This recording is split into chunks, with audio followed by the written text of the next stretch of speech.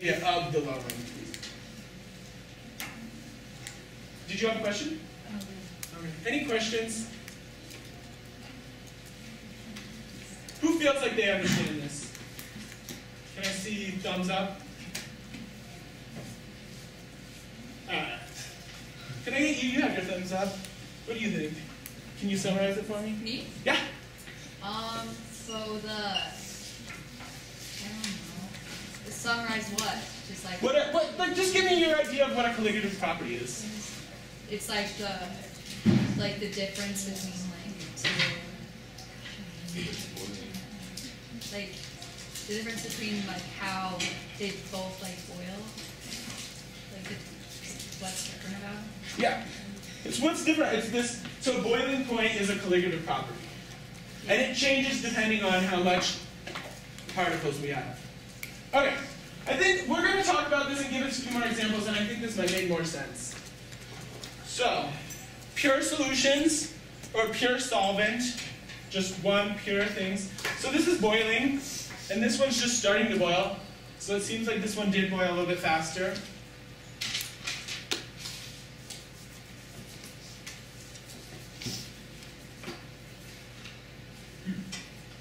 So that's interesting. All right. We're going to take, once those both get boiling, we'll then take the temperature, and we can see whether our hypothesis was correct. So the first one is vapor pressure lowering. And this one, if you understand this one, it's really going to help understanding the boiling point depression and, uh, or boiling point elevation and uh, freezing point depression. So vapor pressure is these particles that are in the gas phase right above a solution. So we have liquid down here and vapor up here. And what happens is over here, we see that it's all solvent. So we're getting things moving in and air, out of air. There's, they're all in, like everything that's on contact with the surface is your pure solvent that can go into vapor pressure. And now over here, we have a mix. We have our pure solvent, the blue, and then these red particles that are a non-volatile solute. So, what's non-volatile mean? Or what is a volatile solution? Can anyone think of any examples, maybe?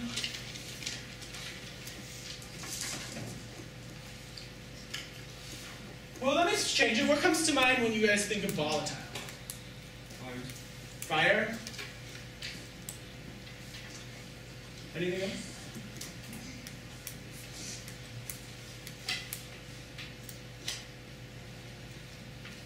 So things that are kind of unstable, they're kind of, and so a non-volatile solution would be something that, um,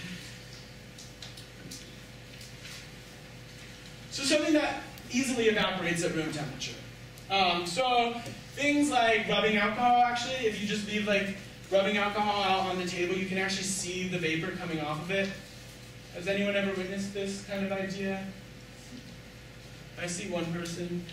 It'll happen with like nail polish remover and stuff like that too. You can you can see these fumes kind of come up, and it's the vapor pressure, and these are volatile. So they're they evaporate more easily than water. So if we were to put in these, they're not going to change anything. They're going to change things, but in a different way. These things don't go into the gas phase. So now what we have is over here we have a bunch of particles in contact with the surface. Over here, well, we have less because now some of these other molecules are on the surface too, and they can't go into the gas phase. So we're going to have less oppor- opportunities for our molecules to go into the gas phase. So what we can see in the air is that we have more particles over here than over here.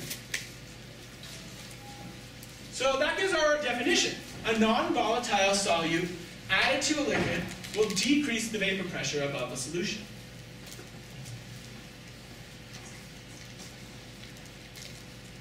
Is that making sense at all? Yeah. So is that kind of like what we're doing right now then? Yeah, because right now we have vapor pressure right above here. We can kind of see it coming off.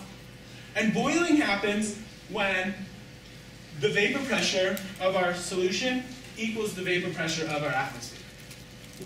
So at that point, then we get boiling like we see. So that's why vapor pressure and the boiling point are very dependent. So now that we have these two solutions, and they're both boiling, we can take the temperature. And I'm not sure if the timing really works out because of the. So one of the things, right, in science, when we're doing an experiment, we want to reduce the variables, and probably using two different hot plates that heat at different temperatures and rates wouldn't be the best. And if we were to do this, we would probably want to do them on the same hot plate and measure that and monitor that. But that's okay. So we're going to take the temperature of these.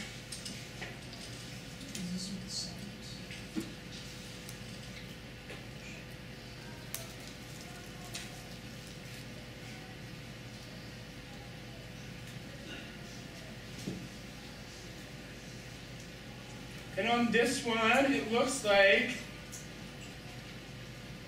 and this is the salt one. It looks like I am getting a boiling point of 93. So you might want to write down that uh, on your sheet right under the results. And then we can do pure water.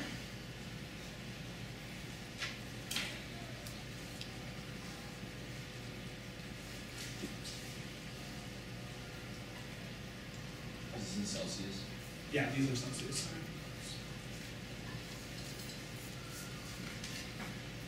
And this one I'm only getting 89. 89 to 90. Now, Mr. Gardner, Yeah. let me ask a question. I thought water boiled at hundred degrees Celsius, Yeah. not eighty-nine degrees Celsius. So, You're right. so why, why are you getting a number that's lower than what it should be? So we have a couple things probably going on here. One, we're at elevation. And I don't know if you guys have talked about this, but um, elevation checks boiling point. So if I'm boiling something at Everest versus sea level, it's going to lower at a lower temperature on Everest. And why? Because the pressure outside of us, right? Boiling point is the vapor pressure. When the vapor pressure equals the atmospheric pressure, as we go up in elevation, the atmospheric pressure decreases. And this so it doesn't take as much heat to get that vapor pressure up. Whereas if we're at sea level and it has a lower one, yeah. And the second reason it probably isn't is because these thermometers are probably running a little low, so they might not be calibrated or whatever. So that also affects boiling uh, measurement. But since we use the same one, we can say relative to one, one is higher temperature than the other. We might not be able to say the absolute temperature of these, but that's so. What do we find? What was the result of this experiment?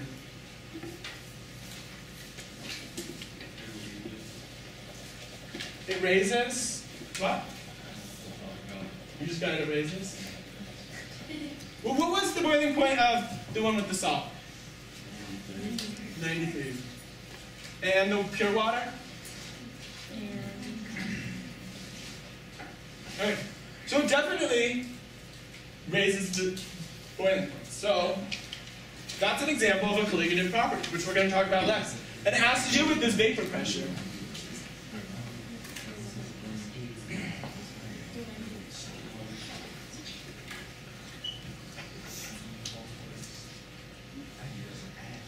So, boiling point elevation.